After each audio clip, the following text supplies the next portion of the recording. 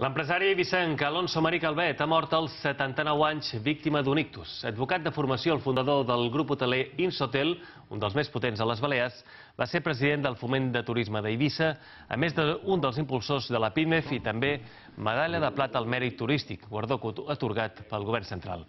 Alonso era germà d'Antoni Marí Calvet, president del Consell d'Eivissa als anys 90. Declarat antifranquista, Alonso Marí Calvet va promoure el Partit Liberal i va ser diputat al Congrés i senador a l'inici de la democràcia. Gran polític.